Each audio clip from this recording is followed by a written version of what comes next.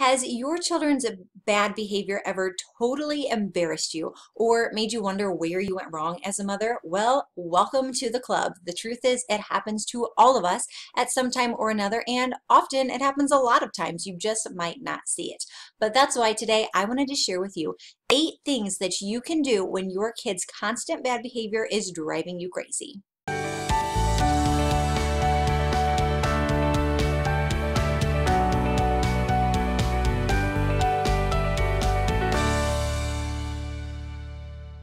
Now, to clarify, when I say your kid's constant bad behavior, I am not talking about kids who are getting in legal trouble, who are destroying other people's property, who are killing small animals.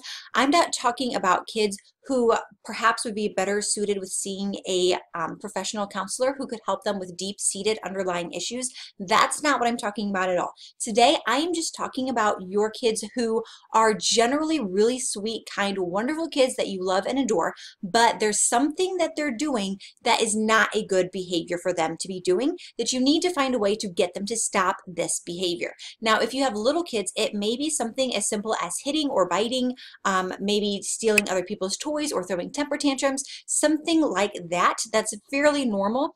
Um, but you really need to stop it before it you know gets even worse. Or if you have an older kid, it could be something like lying, having an attitude, um, refusing to clean up the room constantly, you know, whatever it is, getting in trouble at school, something that is pretty normal that parents deal with.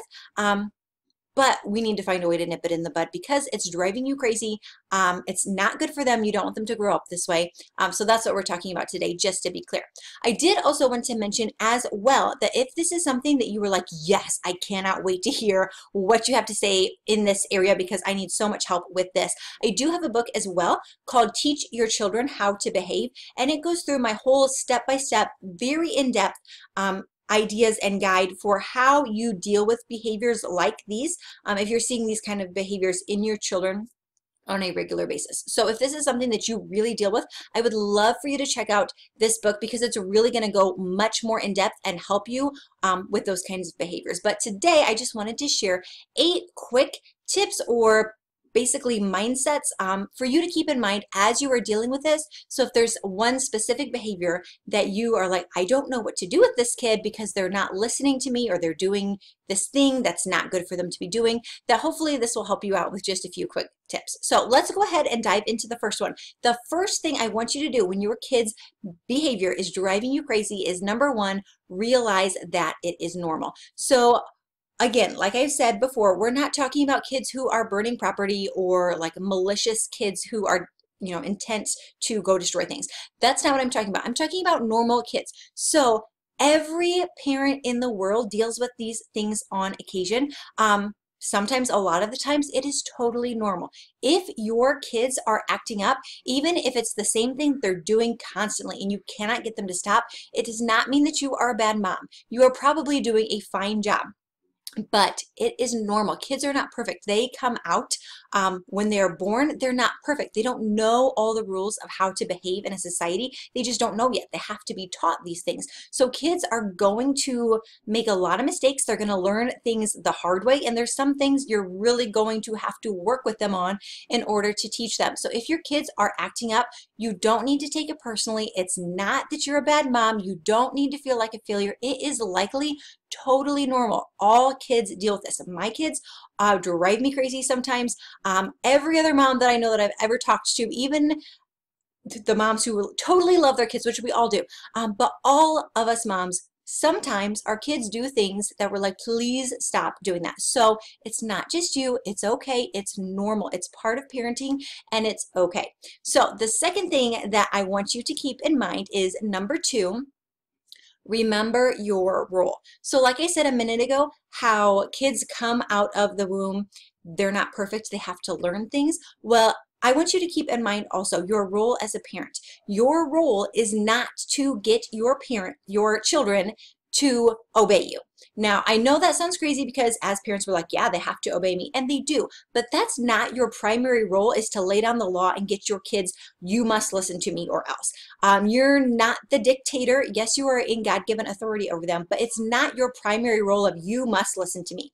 Um, the way that I think about this in my house that works really well for helping me keep my sanity is that I am my parents' or my children's I am my children's guide, I'm my children's teacher, and I'm their mother, but I'm and I am the boss of them. I do get to tell them what to do, but it's not my primary role to say, you must listen to me. My primary role is to teach my children how to behave, hence why I have a book on this. Um, it's in the show notes. Definitely check that out. But my primary role as a parent is to teach my children and to lead my children and to guide my children, to model for my children. This is what it means to be a Christian grown up. This is what it means. This is what it looks like to live in this world. It doesn't mean I'm always going to do it perfectly. I don't expect them to do it always perfectly. And honestly, I don't even expect my children to listen to me the first time all the time. I would like it if they did, but I am not trying to be a dictator where I'm like, you have to listen to me because I said so. I do say because I said so sometimes, but overall, um, I hope this is making sense. My main role that I see as a parent is to lead them and to guide them and to model for them and to teach them. So I am more concerned with teaching my kids how to make good behavior rather than saying, you need to do this because I said so. Um, or saying, okay, here is how we love each other. Let me show you what that looks like. Let me tell you what that looks like. Let me guide you and instruct you on how to do that. Um, not, oh, well, you have to stop doing this because I said so and, and I'm laying down the law. And again, I hope that makes sense. But if you really step back and you stop taking not that you stop taking ownership, but you step back and you say, okay, I do not have to feel like a terrible person because my kid doesn't always listen because they're not always going to listen. I am responsible for them and how they turn out, but they are an individual on their own. They're not just a reflection of me, but this is an actual human being, their own human being who has wants and needs and desires. So instead of me trying to see my kids as here's a reflection of me and you need to do what I say and what I want, say, okay, here's another separate God made individual. God made this person, and it's my job to lead them and guide them and teach them. And that's going to take time. That's not something that they're going to get right away. Um, if they mess up, it doesn't mean automatically that I messed up. It means that they're human and I'm human and we're figuring this out together. So I've just really found for myself that when I take a step back and I say, okay, I don't have to, hey, listen to me, I'm the boss, do what I say every minute, but I can just be like, you know what, you're a human and I'm to help you and I'm to teach you and I'm to lead you and I'm to guide you and I'm to model for you. Um, and I have that sense of responsibility of I want to do my job well, but then they're also a, their own separate human being who's going to make good behavior and bad behavior choices of their own as well. That just really takes a lot of the load and stress off.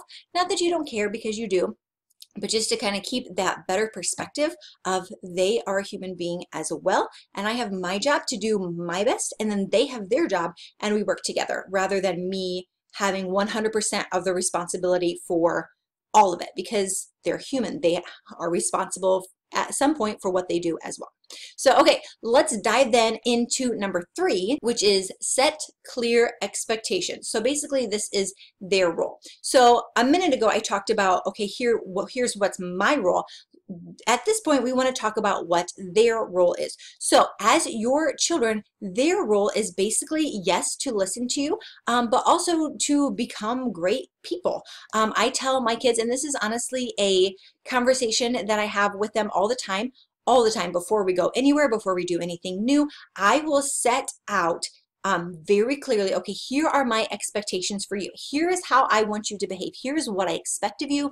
Um, here's what you need to do so that they know. Because how I said earlier, your kids coming out of the womb don't know how to behave in a library. They don't know how to behave at church. They don't know how to do these things. And even if you've told them 50 million times, that doesn't mean it's sunk into the point where they really know and understand this is what I should be doing and why. So it is so helpful if before you do anything new, you sit them down and you say, okay, here are my expectations. Here is what I want from you. So case in point, before I started this video, my kids are actually home now. I usually try not to record when they're home, um, but tech issues this week it just led to it happening this way so they are home so before i started this recording i didn't just like wait until maybe they were quiet for a minute and then go in the other room and hope i could record real quick and hope that they behaved i talked to them And I said, okay, here is what I expect from you. Here is what you will do, and here is what you won't do. And if this is a spiel that you've given them before and they should know, then you can ask them, okay, you tell me before we go in the library, before we go in church, do you do this? Do you not do this? So that they know and it's clear and they have that reminder. Um, because it's the worst feeling when you yell at a kid and you're like, why did you do this thing? You were so terrible. You were so like, hopefully you wouldn't like be really rude and mean and put them down. But you know, you were so naughty in church today. Why would you do that? When they were like, I had no idea that I wasn't allowed to behave that way.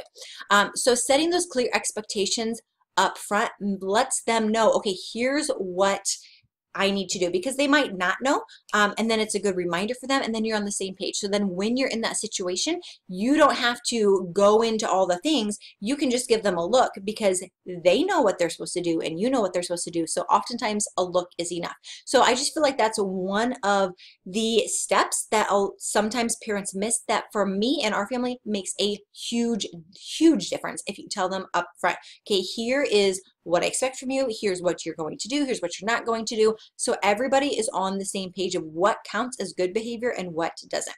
All right, next tip. Number four is set logical consequences. So in this same discussion, before you were getting ready to do whatever it is you're going to do, um, yes, tell them what you expect them to do, but also tell them what is going to happen up front. So rather than hoping your kids are good and then when they're not being like, oh no, now I have to like figure out how I'm going to punish them and I don't want to punish them and I don't want to do these things. Or you're telling your child, oh, well, you were naughty, so we have to leave now. And they're throwing a huge meltdown because they don't want to leave. A lot of that can be avoided if you tell them up front.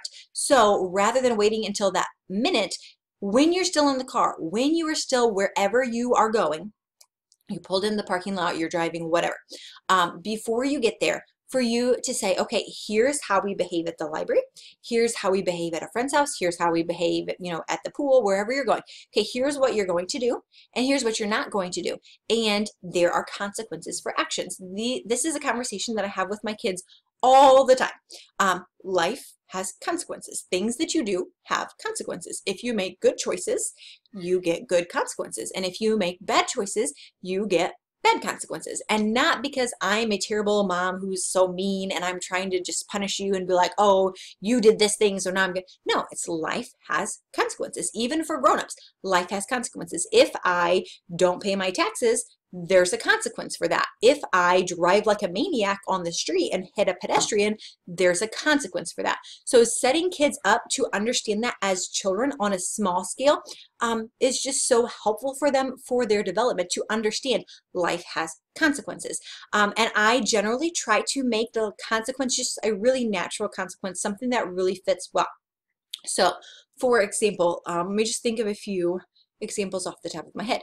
If my son is giving me an attitude and he's talking to me in a really rude way, then he knows he will lose his talking privileges. If he can't use his voice nicely, he doesn't need to use his voice at all because he has the right he is his own person, his own individual. He has the right to say whatever he wants, but I don't have I have the right to not listen to it. So if he comes home from school and he is super rude and telling me all these things, okay, I have the right, I don't have to listen to that because I am my own separate individual and I have the right to not hear that.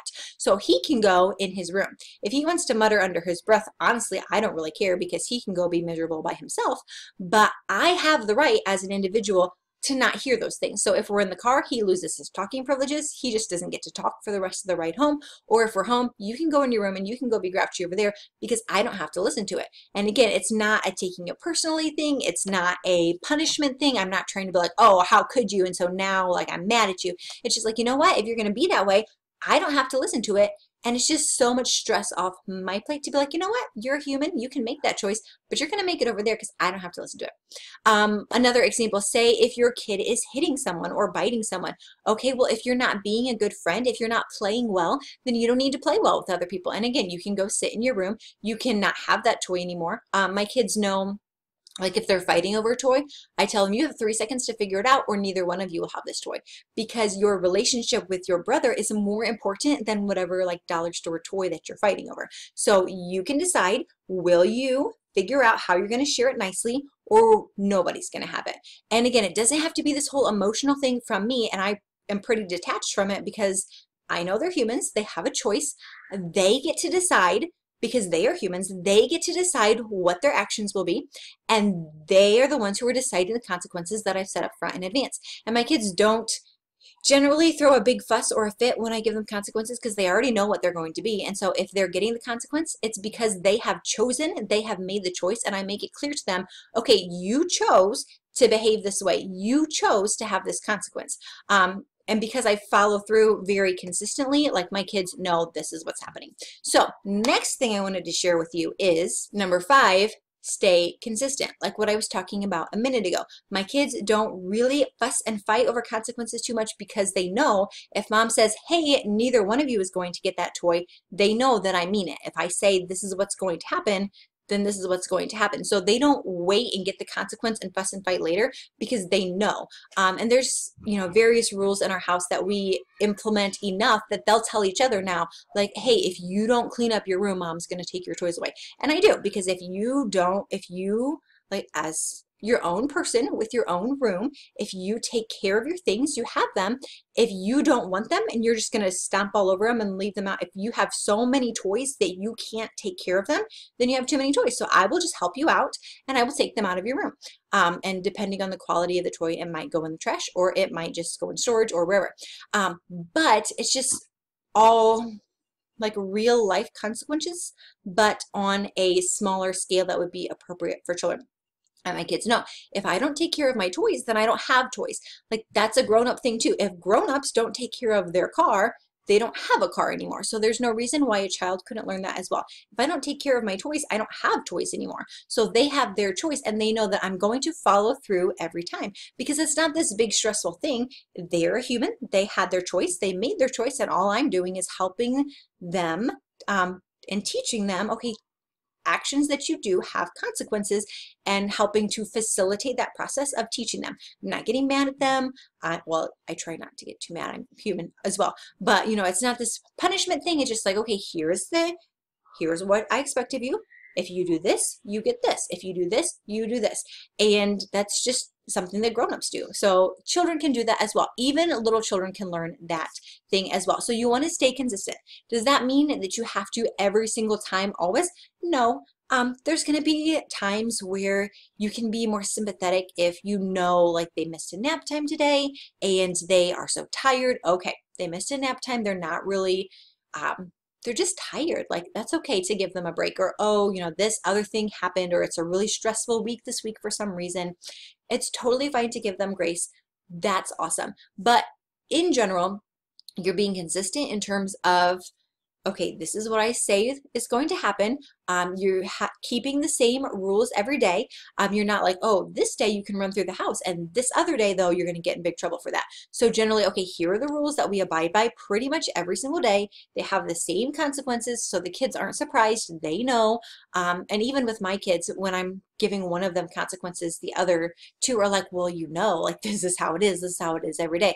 Like if you do this, they'll tell them ahead of time. They'll be like, if you do this, this is what's going to happen. And afterwards, when one of them is crying because they got the consequence, the other two are like, don't cry like you know this is what happens. Um, so it's not a surprise. It's not stressful and drama. It's just like if you don't play with your toys, you don't have your toys. If you don't play nicely with your brother, you don't get to play with your brother. Um, and it just keeps things so much calmer because um, everybody knows what to expect. Not drama, you just do what you do.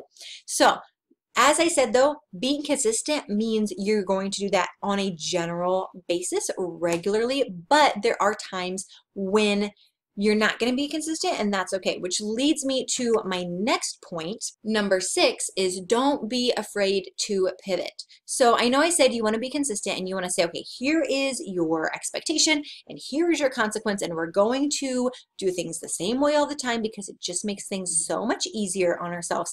And we want to do that in general However, if something is not working, it is okay to change things. If you made a rule and you can see, hey, that rule is not working out, it's totally fine to say, okay, new rule. We're going to do things differently because that wasn't really working. Um, and kids can understand that, that sometimes we make choices and they're not the best choices. And that's okay because we're just all doing our best. Like my kids know, like I am their mom who makes rules for them, but I'm not, like I'm not God. I'm not it's not like I know everything. I am learning and they are learning and we're learning together. And I've had these conversations with my kids before where I say, you know what? You're nine years old. You've never been nine years old before. Like you're learning what nine year olds need to learn. And you know what? I've never been the nine uh, mother of a nine year old boy before. Like this is new to me. I'm learning how to be a mom of a nine year old boy because I've never done that before. So we are learning together. So just to take the attitude of, we are doing this together. We are learning this. So sometimes you might make a rule and it doesn't work out and it causes more problems than it's worth. That's okay. You can just say, hey, I know we made this rule, but it wasn't really the best rule. It's not really working out. Let's kind of revisit that. Let's do something else instead. Um, and we did this in my own family. A recent example was during the school year when the kids get in the car. If one of them sits in the seat that's right where they get in and then the other one has to like crawl over them to get to the back. Um, and it was just this whole debacle of who's the going to be the one that has to close the car door which is nobody cares. But it was a whole debacle. Who has to close the car door? The last person who got in or the person who was sitting in the seat? So i made the rule one way of like okay whoever gets in first has to go to the back or something i think was the rule. And for some reason i don't even remember now but it didn't work. It caused more fighting and drama. Um, so like after a day, I was like, nope, just kidding. And we made that not a rule before anymore. And you can do that as well. You can say, okay, here's what we're going to try. It doesn't have to be set in stone, but you can have these discussions with your kids where you say, okay, I have never been the mom of a nine-year-old boy before. I've never been the mom of a six-year-old girl before. So here's what we're going to do. We're going to learn this together. Here's what I want to have happen um, here's our goal here and here is our consequence. But if it doesn't work we're learning. We're learning together. Like we are both human individuals who are not perfect. We make mistakes and that's okay. But we are going to um, we're going to try this. We're going to see if it works. And my kids know also as well like you have your consequences. If those consequences don't work i will give you more consequences because they know the reason why they get consequences isn't because mom's mad at them. It isn't because I'm trying to punish them. It's because, okay, I, and I've had this conversation with my kids lots of times. My kids know my job as your mom is to help you to grow up to become a wonderful human being who loves God and loves others. That is what is important to me. That is my job. I'm not responsible for all of your choices, but my job is to do the best that I can to teach you how to do these things. Your job is to learn how to do these things. You are not the boss. You are not in charge. When you are a parent, and when you know all of these things, then you can teach your kid. But for now, we're going to do our best. Um, so that's just kind of the conversations that I'm having with them. Okay, this is my my job to get you to get this. Um, and if this isn't working, we're going to try something else. And if this consequence isn't going to work, we're going to find some more consequences. And they know like, hey, I'm giving you a nice consequence now.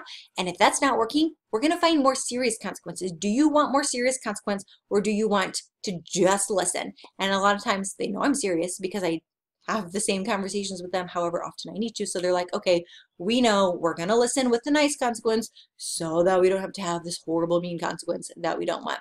Perfect. Awesome. It works.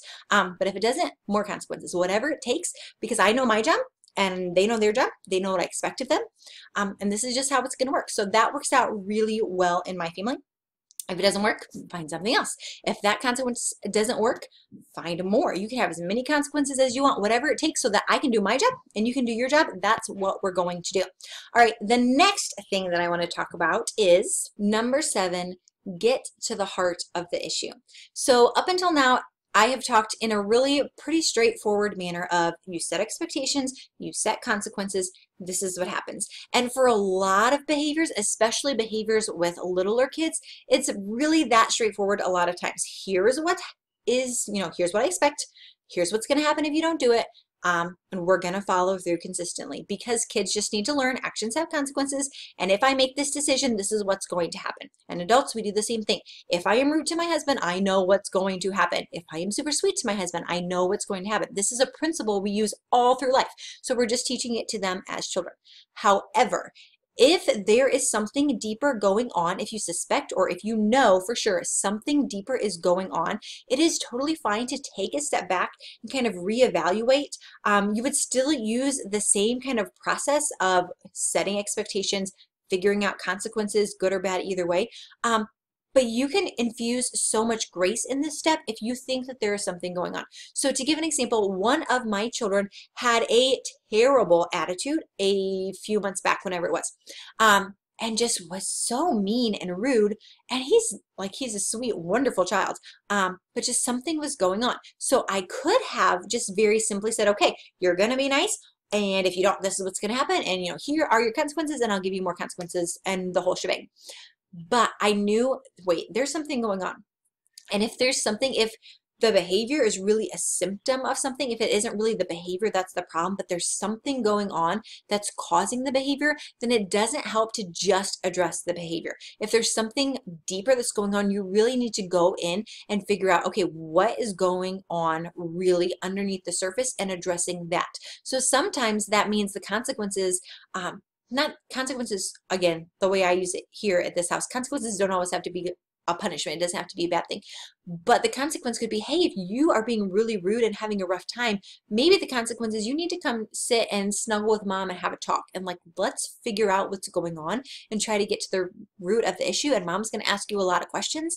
Um, and mom's going to say, do you think this way? Do you think this way? Like, why are you doing this? And like, do you believe this? And um, how I've talked a lot on equipping godly women about taking every thought captive to Christ. Kids don't know how to do that yet. So if they have some lies or some hurts or things in their brain that they can't process that yet when they're little. They don't know, like, oh, this person hurt me. This person made me mad. So now I'm acting out. They don't know how to do that yet. So it might be sitting down with them and helping them through that process. Okay, what's going on? Why are you mad at your brother? Do you want your brother to be hurt?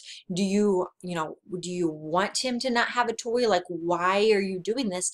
Um, and the more you can kind of just talk to them, if you have that good relationship with them, um, to talk to them, then they will hopefully kind of eventually start opening up and spilling things out and then you can get to the root of the issue like oh of course your brother doesn't hate you or of course he's not really mad at you or you know this happened or well of course this is why he was rude to you because you were rude to him first and that's a natural consequence that just happens in life.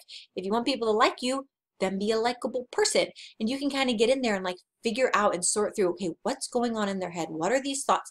Um, and getting to the root of the issue because just simply only addressing the symptom, the behavior isn't going to work if, um, sometimes it will, but a lot of times isn't going to work if there's something deeper going on. So that's another thing I wanted to point out as well. Yes, say expectations. Yes, say consequences. Yes, follow through. But make sure that your consequences are really fitting what's really going on. Um, so you're not just addressing the behavior, but you're really addressing the child. Because remember, again, your job is not just to, you have to obey. You have to follow these expectations and you will listen or else. Your job is, oh, is to model and to teach and to guide. So if there's something going on, okay, hey, what's going on? Let's talk about this. Let's get it out. Let's fix any lies you might be believing. Let's fix any hurts that you might have um, to kind of guide them into their grown-up person that they're becoming um, and to kind of guide them on that way. So that's a really important thing too. Um, and a lot of times you'll notice that if you start by setting normal consequences and it's not working and it's something that's been going on for a long time um, and you can't seem to break, maybe there's something deeper that's going on and you really need to dig into what that is. Or even if you just know that there's something going on, like your kid who is normally wonderful and sweet and kind, um, but they are super just mean and grouchy one day, but you know that they got a bad grade on the test, well, you can just know, okay, that's probably what happened. And that's going to affect what kind of consequences you give them. So that's something you're going to want to take into consideration too. And then finally, the last thing on our list, number eight, is don't forget to follow up. So throughout this podcast episode, I've been giving you lots of things that you can do, lots of, okay, do this step, um, set the expectation, set the consequence, give, you know, give more if needed, get to the root of the issue. These are all things that you can do, but you also want to have this relationship with your child where you are following up and making sure that they are understanding this process too. Because yes, it is helpful for you, but it's even way more helpful if your kids know exactly what you are doing. This is not some secret like behind the scenes thing that you're like, I'm going to try out this new parenting method and like they're not going to know what hit them. Not like that at all. This is some, it's a process that you're going to guide your kids through that they can 100% know what you're doing and you're going to work on it together because it's based on principles that grown-ups use in real life that kids need to learn as well. Um, so I have so many conversations with my kids and I've shared some of them already um, in this podcast episode, but that is a huge part of what I do is that I'm not just handing out consequences, but we're having these discussions. I'm talking with my kids to tell them, okay, here's my role as your mom. My role is to guide you and teach you and help you learn and to model for you and to show you what this looks like. My job is to help you to grow up to become this wonderful person. And I will tell them, hey, right now, the things you are doing, that's what bullies do. Do you want to grow up to be a bully or do you want to grow up to be a wonderful human being? Okay, if you want to grow up to be a wonderful human being, I'm your mom. That's my job is to teach you and to show you how to do these things. This is why I'm on your case. This is why I am telling you um, this is why I'm giving you consequence, not because I'm mean, not because I, you know, don't love you. It's because my job is to help you grow up right. And your job is to learn these things. And someday you'll be the grown up and you'll get to do this with your kids. But right now you're learning. So my job is to help you learn so that they understand. And I'll have these conversations as a follow up right after they get into trouble. Like if they go to their room and they're in their room for a while, I will come in and I'll say, you know that I love you, right? You know what's my job. And I drill it it into my head, into their heads so much that they know, okay, what's my job? And this is why. And so usually by the time that we're walking out of their room together, they're not I mean, sometimes they're mad at me because we're all human. Um, but most of the time, they're not mad at me. They're coming out laughing and smiling, which sounds ridiculous, but it's true because they've gotten their consequence. But then I'm going in there afterwards to follow up, to hug them and snuggle them and say, okay, let's talk about this. What is my job? What is your job? Okay, this is the choice that you made. Is this a good choice? And I will ask them questions. Was it a good choice? Or no, the first thing I will ask them, what did you do that was wrong? And they know, like my kids, as soon as they go in their room, like they're ready to give this answer because they have to do all the time. What did you do that was wrong? Okay, this is what I did that was wrong. Why was it wrong? And they need to be able to tell me those two things. What did you do that was wrong? Why was it wrong? And if they don't know, then they didn't learn their lesson. Because that's the whole point is not just they got their consequence. The whole point is that they learned their lesson. So I'll go in there. What did you do? Why was it wrong? What is your lesson? What are you going to do differently next time? Those are the three big things I want them to be able to tell me. What did you do? Why was it wrong? What are you going to do next time? Or what could you have done instead? So if they are understanding these things it's not just oh they did something wrong they got their consequences. Oh they learned a lesson. Now they know for next time.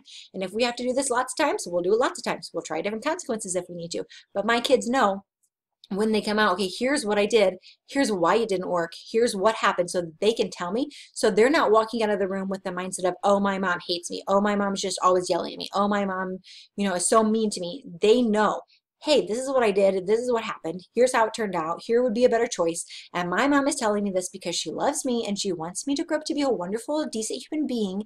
And my job is to learn how to do these things. So they understand because we've had these follow up conversations. It's not just a punish, get out of my face because you're driving me crazy, but it is a conversation that they know that's very transparent. Okay, this is my job, this is your job, this is how it's going to happen. If we have to do this every day, we will do this every day and I will be here every day.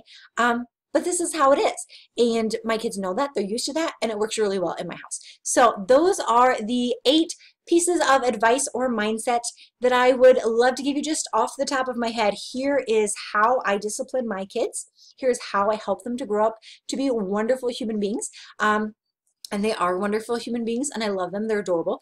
Um, they make bad choices sometimes and that's just life and that's okay because um, we're all learning and growing together. So hopefully those eight things have been helpful for you to give you a little bit of mindset and perspective and some step-by-step -step instructions of how to deal with some of these behaviors that drive all of us as moms crazy. If you want more, definitely go ahead and check out the show notes.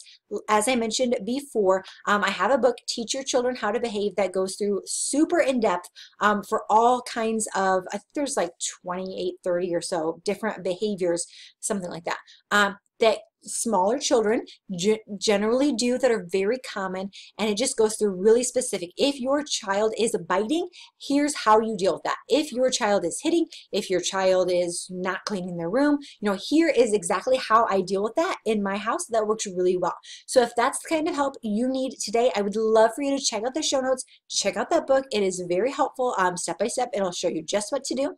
Um, and then there's other resources that are linked there for you as well that you're going to find really helpful. As always, if you have not subscribed to this channel yet, what are you waiting for? Go ahead and subscribe. I come back regularly to share with you my best, super practical and encouraging, relevant tips and advice to help you to be the amazing Christian woman, to be the amazing Christian wife and mom that God has created you to be. And I would love to encourage you and equip you and challenge you even more. So definitely go ahead and subscribe if you have not already. Check out the show notes and I will see you back here again real soon. All right, bye.